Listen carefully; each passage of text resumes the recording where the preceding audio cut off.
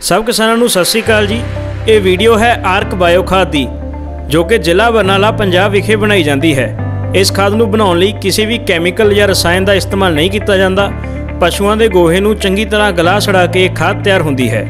ਇਸ ਖਾਦ ਨੂੰ ਜ਼ਮੀਨ ਵਿੱਚ ਪਾਉਣ ਨਾਲ ਜ਼ਮੀਨ ਦਾ ਆਰਗੈਨਿਕ ਕਾਰਬਨ ਵੱਧਦਾ ਹੈ ਅਤੇ ਜ਼ਮੀਨ ਵਿੱਚ ਕਈ ਤਰ੍ਹਾਂ ਦੇ ਜੀਵਾਣੂ ਅਤੇ ਬੈਕਟੀਰੀਆ ਵੱਧਦੇ ਹਨ, ਜੋ ਜ਼ਮੀਨ ਦੇ ਪੌਸ਼ਟਿਕ ਤੱਤਾਂ ਨੂੰ ਪੂਰਾ ਕਰਦੇ ਹਨ। ਆਲੂ ਦੀ ਖੇਤੀ ਲਈ ਹੁਸ਼ਿਆਰਪੁਰ ਇਲਾਕਾ, ਜਲੰਧਰ ਅਤੇ ਲੁਧਿਆਣਾ ਇਲਾਕੇ ਵਿੱਚ ਇਸ ਦੀ ਸਪਲਾਈ ਸ਼ੁਰੂ ਹੋ ਗਈ ਹੈ। ਆਲੂ ਦੀ ਖੇਤੀ ਲਈ 1 ਕਿੱਲੇ ਵਿੱਚ ਖਾਦ ਦੇ 4 ਗੱਟੇ ਪੈਂਦੇ ਹਨ ਅਤੇ ਨਾਲ ਸਪਰੇਅ ਦੇ 1 ਜਾਂ 2 ਕੈਨ ਪੈਂਦੇ ਹਨ। ਇਸ ਦਾ ਅੰਦਾਜ਼ਾ ਖਰਚਾ 3000 ਤੋਂ 3500 ਰੁਪਏ ਪ੍ਰਤੀ ਕਿੱਲੇ ਦਾ ਆਉਂਦਾ ਹੈ। ਖਾਦ ਨੂੰ ਬਣਾਉਣ ਲਈ ਫੈਕਟਰੀ ਵਿੱਚ ਸਭ ਤੋਂ ਪਹਿਲਾਂ ਇੱਕ ਘੋਲ ਤਿਆਰ ਕੀਤਾ ਜਾਂਦਾ ਹੈ, ਜਿਸ ਵਿੱਚ ਕਈ ਤਰ੍ਹਾਂ ਦੇ ਜੀਵਾਣੂ ਹੁੰਦੇ ਹਨ ਅਤੇ ਕਈ ਤਰ੍ਹਾਂ ਦੇ ਬੈਕਟੀਰੀਆ ਹੁੰਦੇ ਹਨ। ਉਸ ਘੋਲ ਵਿੱਚ ਤਾਜ਼ੇ ਗੋਬਰ ਨੂੰ ਚੰਗੀ ਤਰ੍ਹਾਂ ਘੋਲਿਆ ਜਾਂਦਾ ਹੈ ਅਤੇ ਇੱਕ ਹਵਾਬੰਦ ਟੈਂਕ ਵਿੱਚ ਰੱਖਿਆ ਜਾਂਦਾ ਹੈ, ਜਿੱਥੇ ਉਸ ਨੂੰ ਮਿਕਸ ਕਰਨ ਲਈ ਵੱਡੇ ਵੱਡੇ ਮਿਕਸਰ ਲੱਗੇ ਹਨ ਅਤੇ ਹੀਟਿੰਗ ਸਿਸਟਮ ਲੱਗਿਆ ਹੈ। ਇਸ ਵਾਤਾਵਰਣ ਵਿੱਚ ਅਤੇ ਟੈਂਪਰੇਚਰ ਤੇ ਉਹ ਜੀਵਾਣੂ ਗੋਹੇ ਨੂੰ ਖਾ ਕੇ ਉਸ ਦੀ ਖਾਦ ਬਣਾਉਂਦੇ ਹਨ। ਇਹ ਪ੍ਰੋਸੈਸ ਲਗਾਤਾਰ 4 ਮਹੀਨੇ ਚੱਲਦਾ ਹੈ ਅਤੇ 4 ਮਹੀਨੇ ਬਾਅਦ ਖਾਦ ਦੀ ਚੰਗੀ ਤਰ੍ਹਾਂ ਰਿਫਾਈਨਿੰਗ ਕਰਕੇ ਖਾਦ ਭੁਰਪਰੇ ਰੂਪ ਵਿੱਚ ਤਿਆਰ ਹੁੰਦੀ ਹੈ। ਆਰਕ ਬਾਇਓ ਖਾਦ ਸੋਲਿਡ ਅਤੇ ਲਿਕੁਇਡ ਦੋ ਰੂਪ ਵਿੱਚ ਤਿਆਰ ਹੁੰਦੀ ਹੈ। ਸੋਲਿਡ ਖਾਦ ਦਾ 25 ਕਿਲੋ ਦਾ ਗੱਟਾ ਆਉਂਦਾ ਹੈ ਅਤੇ ਲਿਕੁਇਡ ਖਾਦ ਦਾ 20 ਲੀਟਰ ਦਾ ਕੈਨ ਆਉਂਦਾ ਹੈ। ਇਹ ਖਾਦ ਸਾਰੀਆਂ ਫਸਲਾਂ ਵਿੱਚ ਪੈ ਜਾਂਦੀ ਹੈ, ਪਰ ਇਸ ਵੀਡੀਓ ਵਿੱਚ ਗੱਲ ਆਲੂ ਦੀ ਕਰਾਂਗੇ। ਆਲੂ ਦੀ ਬਜਾਈ ਤੋਂ ਪਹਿਲਾਂ 1 ਕਿੱਲੇ ਵਿੱਚ ਖਾਦ ਦੇ 4 ਗੱਟੇ ਪਾਓ ਅਤੇ ਫਸਲ ਦੀ ਬਜਾਈ ਤੋਂ ਬਾਅਦ ਹਰ ਹਫ਼ਤੇ 5 ਲੀਟਰ ਲਿਕੁਇਡ ਖਾਦ ਦੀ ਸਪਰੇਅ ਕਰੋ। ਲਿਕੁਇਡ ਖਾਦ ਨੂੰ ਚੱਲਦੇ ਪਾਣੀ ਨਾਲ ਵੀ ਸਪਲਾਈ ਕੀਤਾ ਜਾ ਸਕਦਾ ਹੈ। ਸ਼ੁਰੂਆਤ ਵਿੱਚ ਕਿਸਾਨ ਇਸ ਨੂੰ ਬਾਕੀ ਕੈਮੀਕਲ ਖਾਦਾਂ ਦੇ ਨਾਲ-ਨਾਲ ਵਰਤਦੇ ਹਨ। ਉਹਦੇ ਨਾਲ ਇਸ ਦਾ ਰਿਜ਼ਲਟ ਦੇਖਦੇ ਹਨ। ਵਿਸ਼ਵਾਸ ਬਣਨ ਤੋਂ ਬਾਅਦ ਕੈਮੀਕਲ ਖਾਦਾਂ ਨੂੰ ਹੌਲੀ-ਹੌਲੀ ਕਰਕੇ ਘਟਾਇਆ ਜਾ ਸਕਦਾ ਹੈ ਅਤੇ ਬਿਲਕੁਲ ਬੰਦ ਕੀਤਾ ਜਾ ਸਕਦਾ ਹੈ। ਇਸ ਖਾਦ ਨੂੰ ਮੰਗਾਉਣ ਲਈ ਕੰਪਨੀ ਨੂੰ ਫੋਨ ਕਰਕੇ ਆਰਡਰ ਲਿਖਾਇਆ ਜਾ ਸਕਦਾ ਹੈ। ਕੰਪਨੀ ਸਿੱਧਾ ਫੈਕਟਰੀ ਤੋਂ ਕਿਸਾਨ ਨੂੰ ਸਪਲਾਈ ਕਰਦੀ ਹੈ। ਕੰਪਨੀ ਦੇ ਕਈ ਟਰਾਂਸਪੋਰਟ ਕੰਪਨੀਆਂ ਨਾਲ ਲਿੰਕ ਹਨ, ਜਿਸ ਨਾਲ ਇਹ ਸਪਲਾਈ ਕੀਤੀ ਜਾਂਦੀ ਹੈ। ਇਸ ਦਾ ਪਹੁੰਚ ਦਾ ਖਰਚਾ ਵਗੈਰਾ ਸਾਰੀ ਜਾਣਕਾਰੀ ਫੋਨ ਤੇ ਲਓ।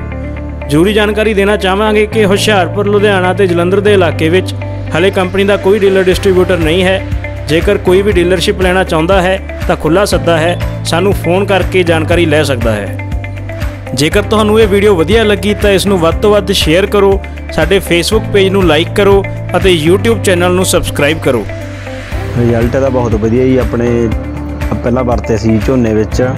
ਤੇ ਝੋਨਾ ਬਿਲਕੁਲ ਖੜ ਚੁੱਕਿਆ ਸੀ, ਜਮੀ ਪੱਤੇ ਐਂ ਲਾ ਲਓ ਵੀ ਡੰਡੀਆਂ ਰਹਿ ਗਈਆਂ ਸੀ।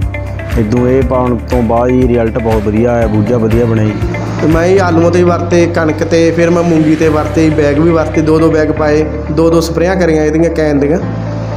ਤੇ ਮੈਨੂੰ ਰਿਜ਼ਲਟ ਬਹੁਤ ਵਧੀਆ ਰਿਜ਼ਲਟ ਮਿਲਿਆ ਜੀ। ਇਹ ਵੀ ਯੂਜ਼ ਕੀਤੀ ਹੈ ਤੇ ਇਹਦੇ ਨਾਲ ਕੋਈ ਫ਼ਰਕ ਪੈ ਗਿਆ ਬਹੁਤ ਵਧੀਆ ਚੱਲਿਆ ਇਹ। ਇਹ ਪਿਛਲੇ ਸਾਲ ਤੋਂ ਲੱਗਿਆ ਜੀ ਪਿਛਲੇ ਸਾਲ ਅਸੀਂ ਗੰਢਰ ਤੇ ਵਰਤਿਆ ਚੰਗਾ ਰਿਜ਼ਲਟ ਮਿਲਿਆ। ਐਰਕੇ ਅਸੀਂ ਗੋਭੀ ਦੀ ਪਨੀਰੀ 'ਚ ਪਾਇਆ ਤੇ ਗੋਭੀ 'ਚ ਵੀ ਪਾਉਣਾ ਜੀ। ਤੇ ਗੋਭੀ ਤੇ ਰਿਜ਼ਲਟ ਕਿਵੇਂ ਰਿਹਾ ਜੀ?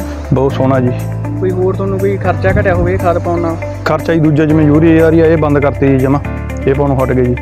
ਬਹੁਤ ਵਧੀਆ ਰਿਜ਼ਲਟ ਆ ਕਦੇ ਅੱਜ ਤੱਕ ਹਜ਼ਾਰ ਰਿਜ਼ਲਟ ਨਹੀਂ ਆਇਆ ਹੈਗਾ ਜੀਰੀ ਦਾ ਜਿੰਨਾ ਰਿਜ਼ਲਟ ਇਸ ਵਾਰ ਵਧੀਆ ਆਇਆ ਅਗਲੀ ਵਾਰ ਯੂਰੀਆ ਹੋਰ ਘਟਾ ਦੇਂਗੇ ਜੀ ਤੇ ਇਹਦੇ ਨਾਲ ਹੁਣ ਤੁਸੀਂ ਕਿੰਨੇ ਯੂਰੀਆ ਪਾਤੀ ਜੀ ਦੋ ਦੋ ਥੱਲੇ ਪਾਏ ਆ ਜੀ ਦੋ ਥੈਲੇ ਹਾਂ ਜੀ 35 ਦਿਨ ਦਾ ਹੈ 35 ਦਿਨ ਦਾ ਝੋਨਾ ਜੀ ग्रोथ ज़्यादा है बिल्कुल डेफिनेटली ग्रोथ ज़्यादा है इसका कलर भी ऐसा है जैसे चार चार साढ़े चार चार बैग डालने के बाद लोगों की फसल का कलर आता है बिल्कुल वैसा ही कलर है कोई पीलापन नहीं और अभी तक कोई बीमारी भी नहीं आई है जैसा मौसम हो रहा है ह्यूमिडिटी वाला बीमारी के चांस होते हैं लेकिन अभी कोई लक्षण लग नहीं रहा बीमारी का और हमने अपने टमाटर की फसल में यूज़ की और हमको बहुत अच्छा रिजल्ट मिला ਅਸੀਂ ਪਹਿਲਾਂ ਨਰਮਾ ਬੀਜਿਆ ਸੀਗਾ ਉਹ ਸਾਡਾ ਨਰਮਾ ਚੱਲ ਨਹੀਂ ਰਿਹਾ ਸੀ ਪਿਛਲੇ ਸਾਲ ਉਹਦੇ ਵਿੱਚ ਪਾਈ ਸੀ ਅਸੀਂ ਫਿਰ ਬਹੁਤ ਵਧੀਆ ਰਿਜ਼ਲਟ ਮਿਲਿਆ ਸਾਨੂੰ ਇਸ ਕਰਕੇ ਅਸੀਂ ਅਸੀਂ ਅੱਜ ਦੁਬਾਰੇ ਮੰਗਾਈ ਇਹਨਾਂ ਤੋਂ